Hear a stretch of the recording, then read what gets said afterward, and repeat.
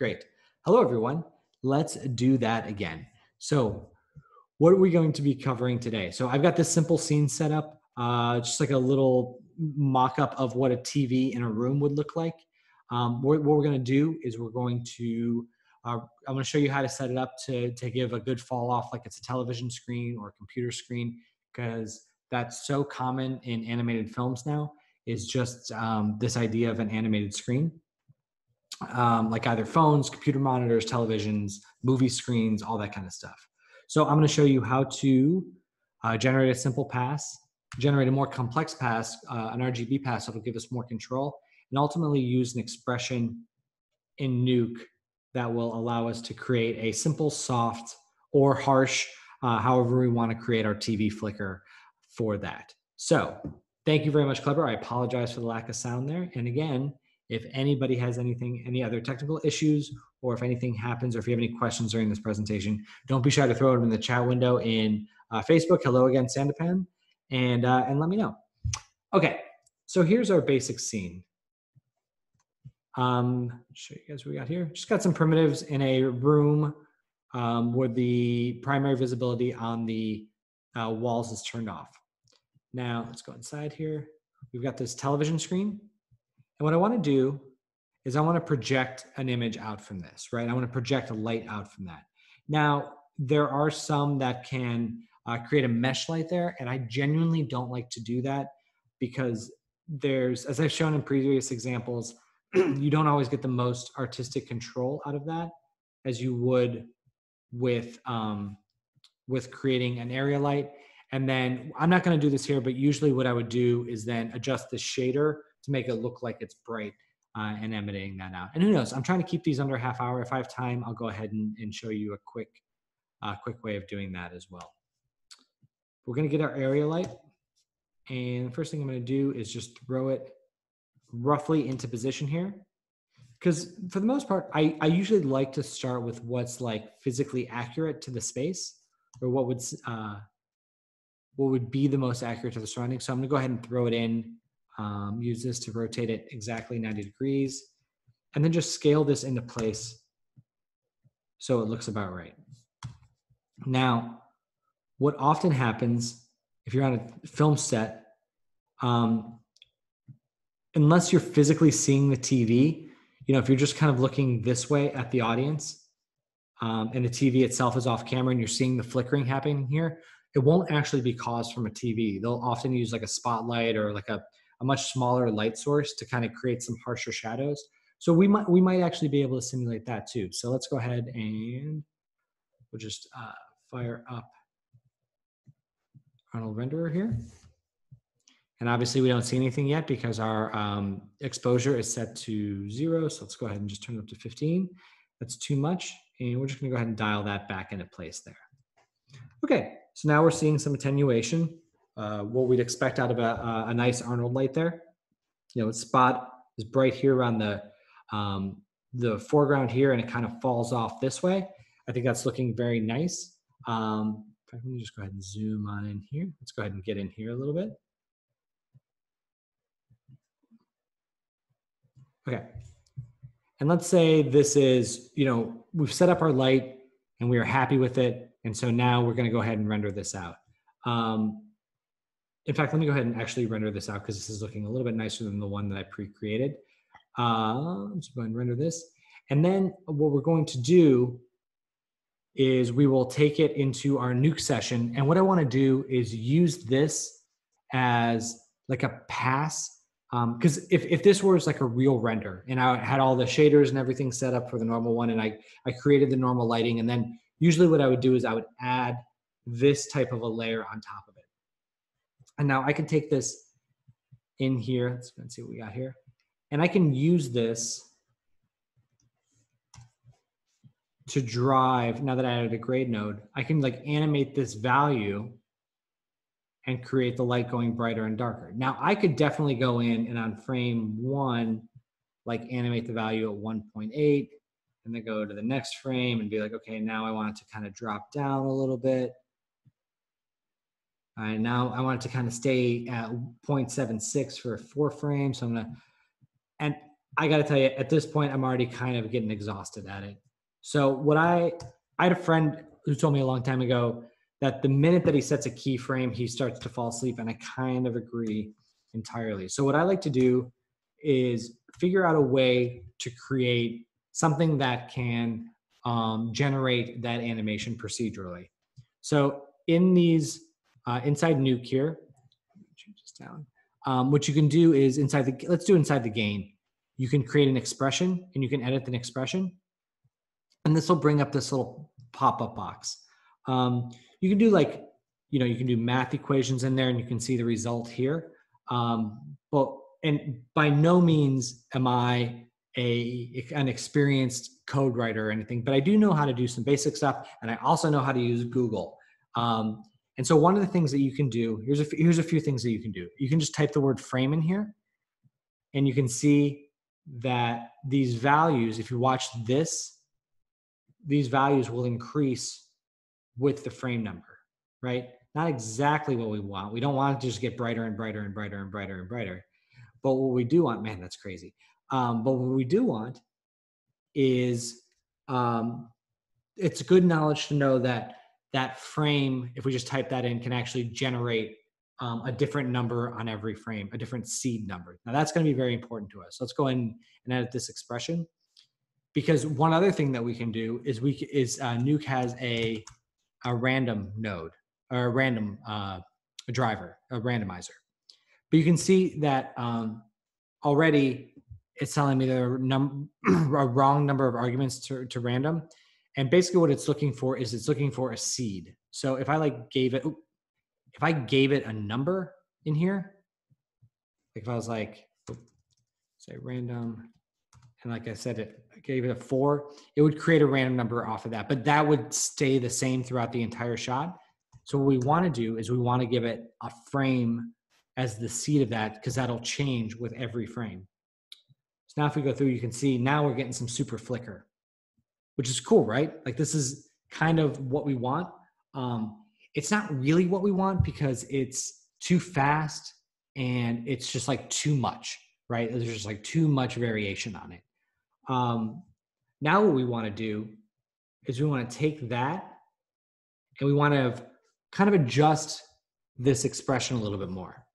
So one way that we can do that is I was saying it's too it's like too drastic. It's going up and down too much. We can add another expression on top of this called a clamp. And what a clamp does, I'll show you this in just a second.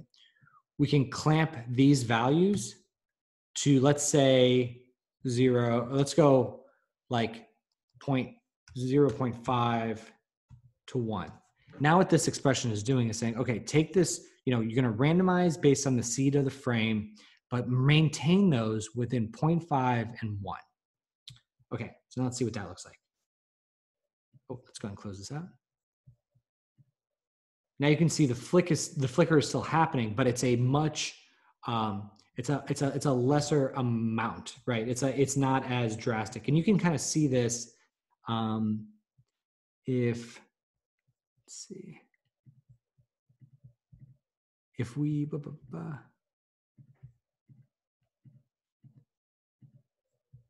Trying to see if I can add a window. That's all right. Um, oh, there it is, the curve editor. So you can kind of see now that all of the, these are just like the values.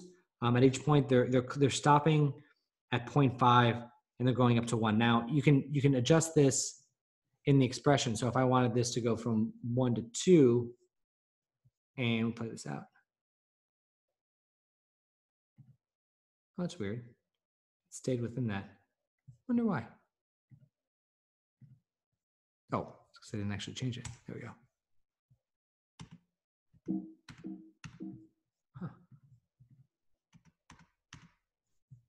Okay. Hmm. Strange. Okay.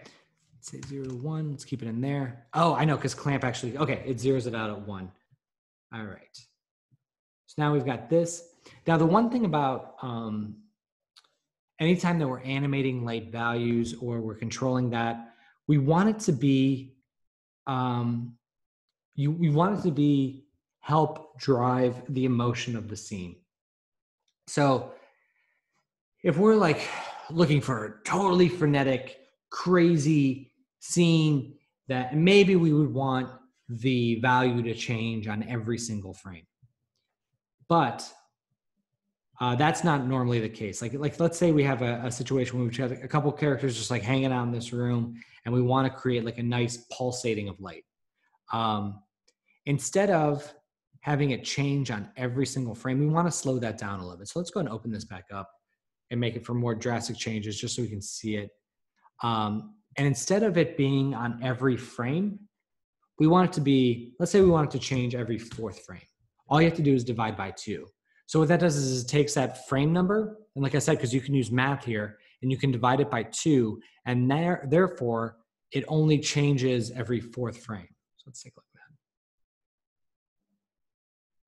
So now you can see it's kind of pulsing a little bit more. It's, it's animating between them, but it's kind of like, because if you think about how uh, a movie scene would change, we can actually uh, make this a little bit further apart.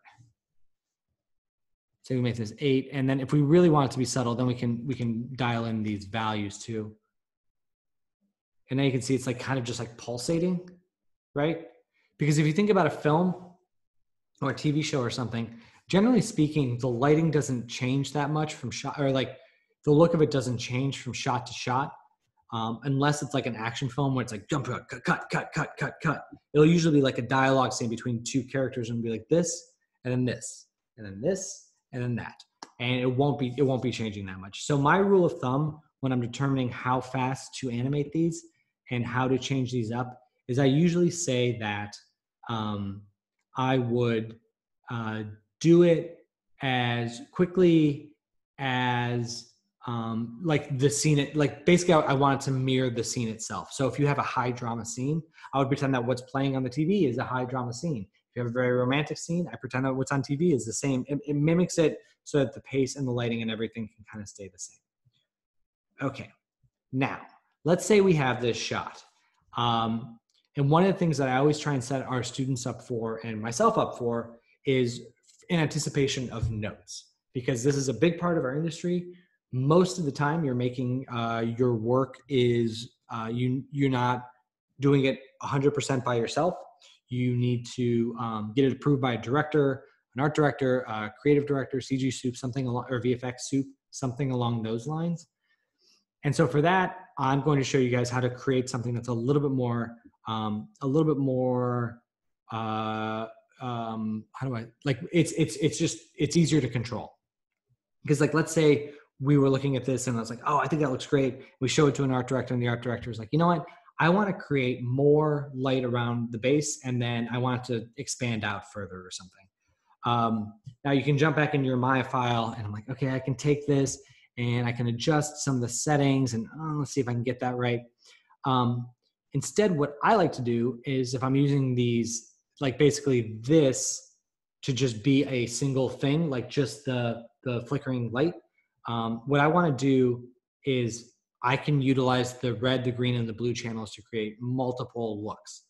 Let me explain what I mean by that. So we're using this as like a, a pure white light, right? Um, and now when we shine it into the scene, um, you can see like, yeah, it's kind of going back here. Cool, cool, cool. Um, and when I look at the, you know, red channel, the green channel, the blue channel, it's the alpha channel, it's all, it's all the same. Like they all they all just look the same because it's pure white light. Now let's say instead of it being white light, I made this a bright red light. Now when I look at the channels, okay, that's the red channel. That looks exactly the same. Oh, there's nothing in the blue and there's nothing in the green. What if instead of um, making uh, leaving those green and blue channels blank, what if I fill them with information?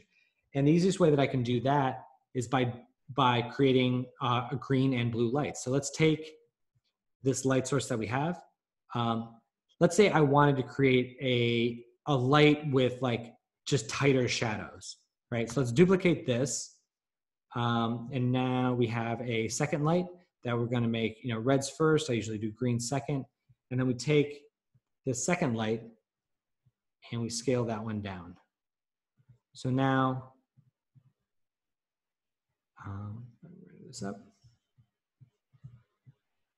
And this is also a good example of additive light, how red and green make yellow, which is weird to me. Um, so now instead of, let's say we want it to be brighter and we want it to build, like be just closer and now it's creating like a tighter shadow. So that when we look at the red channel versus the, the green channel, you can see they're actually making two different, two different passes altogether, right? So red and green. Now let's say, okay, you know, like I said, there was a, we want to create um, uh, a really, really bright light, like right around the source. Okay, let's do that. Let's go ahead and duplicate the light again. And just move it just a little bit just so we can see it. And instead of this one being red, again, now it's time for it to be blue. And it's very, very important that your, uh, your lights are 100% red, green, or blue. You don't want them to be like in the middle a little bit because they'll, they'll pollute the other colors. So now you have uh, this blue light, and let's say that I wanted to control the, the fall off of it. Um, just set up the render here. And let's just take a look at the blue channel so I can, because like now I don't, I don't even have to turn off the other lights to really control this. I can just look in the individual channels. Um, okay, so we want to adjust the fall off of this. So what I want to do is I want to add a light decay filter because if if the director is like, hey, I want the decay to change on this, uh, if you're used to lighting in mental ray or something else you, you would like look up through your settings and look for the type of decay um, you know maybe like quadratic or cubic or something but arnold doesn't really have that instead what they have is a decay a decay light filter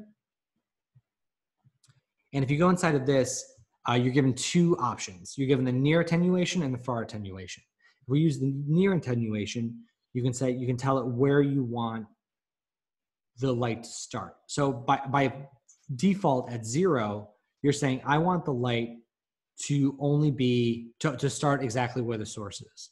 Um, and I want it to end at a certain point, you know, in space, right? So, um, you know, let's say, yeah, so you just, you want it to, you want to push it out the starting point of it. And so now there's nothing around here, but it's only, you know, casting light out there for whatever reason. And we use the far attenuation to control how deep into the room it goes. So if I just, if I just want, like I said, to keep it close to the TV, I'll bring it in here. And then this, uh, this other setting is how far you want it to go before it starts falling off. So like you can see when it's at 19 it, it, stays bright for a little ways out versus when i pull it closer it gets darker more. So it's like the the point where when it starts to fade away. So if i wanted to just be like just in this little sliver I'd put this to 12 and then and then just kind of match those up that way. But i, I just want to pull it in a little bit closer to the camera or closer to the tv um, just so i can control just that region, right? And I won't have to worry about um, anything out here. So now we've we've still got our go back to my RGB. So now we've got our RGB. Again, the green is kind of controlling everything. The red is a little bit tighter, and the blue is a is just really focused in around the center here. Um, let's go ahead and render that out. change this.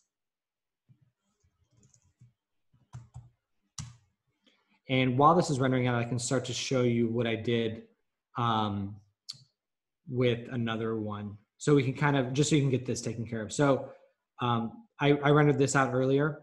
Um, so this is just like a different set of values in the RGB.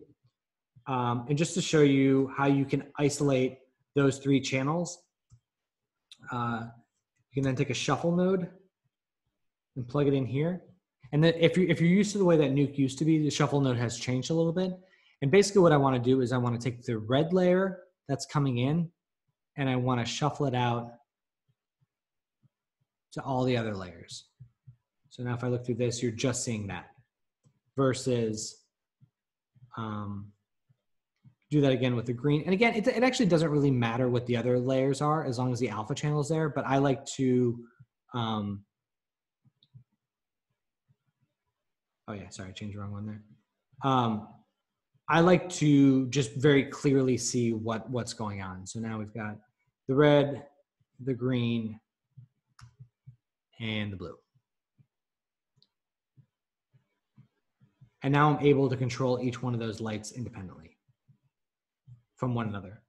And you can see we've got this rendered out. That's not the best angle, but that's okay. We'll make it work. Uh, let's see here. Okay, so now we have our render out. And what I what I've done is I've gone ahead and I've added our um, flicker to this. So you can see it kind of pulsating there. And what I've done is I've then gone, because I wanted to put that first and I want, because I want the flicker to be the same regardless of, you know, what light exactly I'm, I'm adjusting. So we've got a red, we've got a green, and we've got the blue. Again, just closer to the camera. Now what I can do is I can start adjusting these. So I wanted to kind of make them all like this kind of bluer color to start. And the way that I did that was, um, and I'll show you that real quick. So, so basically I just, I went in here and I selected like the color that I would want. Let's, let's, I tell you what, let's make it, um, let's say I would go, I want to go in and like the director was like, you know what, instead of making like this pure, pure blue, let's push it a little bit green. Let's make it weird. Um, instead of having to go through and change that light each time for this, you can see that um, these are blue because what I've done is I've made this color correct like my master in the gain. And then what I did was I took this value and I copied um, the link. And then in here in the red channel, I pasted relative. So what that does is it means that everything, and I go, I'll go ahead and show you here. So let me grade, create another grade node. Um, and you can see like there's this and instead of it being i want to i want to sync these up so that if i want to change the color again i only want to do it once i'll take this copy the link and um, in this gain three hit four so they all pop up paste relative. And if you watch the node tree boom you can see a green arrow pop up here. You see it the green arrows? That means that there's a link between these two so now I, I can do that with this. Um, copy links. And you can do this for, um, and you can either paste absolute or paste relative. Absolute means like if I just, you can see it just like keeps the exact, it'll always remain that.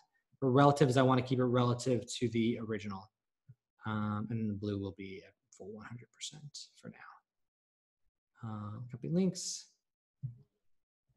and paste relative. So now again, this is kind of like my master.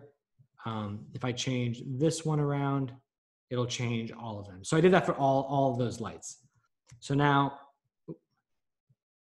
so now you can see boom, boom, boom, boom, boom. They've all got that same color to them. Um, and then I can, you can go ahead and just add those back together and add those in the space. So now what I can do is if let's say you know I wanted to make it super bright around the source, so let's make that like let's double that, and then I can take this and I can pull that light source down, and then this further one that's that's like that's the tighter one, and the one that's like further away, um, I can take that and use the multiplier to multiply that down. So now it's just a matter of like brighter around the source, and it just gives you more control over it in the long run.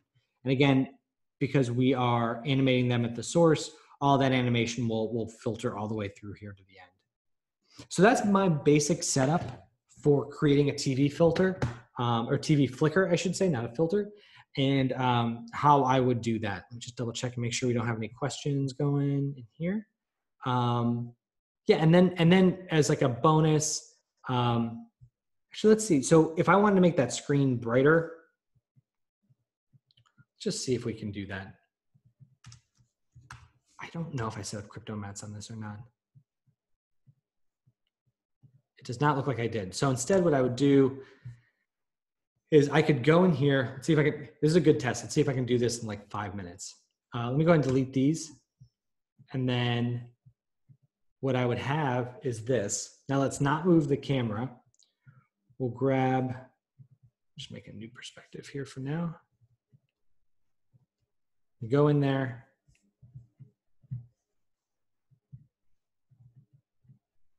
grab this face, assign a new material. Um, let's make it a matte material. AI yeah, matte, um, color red. So now, let's go back to,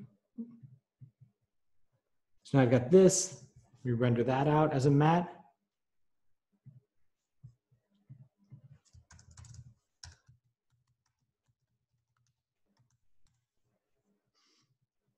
This should take like no time at all to render.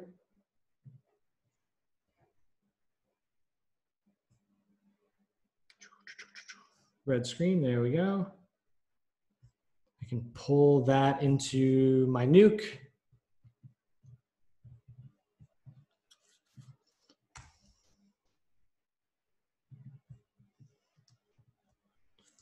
Shuffle out the red channel. Thanks. Thanks. Thanks. Now I can use this grade node to control, let's see if that controls the flicker on that a little bit. You can see it flickering just a little bit. That's cool. Um, and now I can use this or one, this original, actually I'll use this one because it should maintain, yeah, it maintains the links. It's now down there, it's got more of that color.